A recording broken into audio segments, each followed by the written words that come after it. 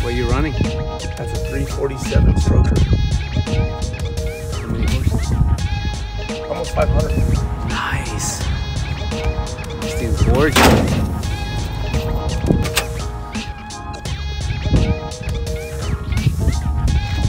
Very nice.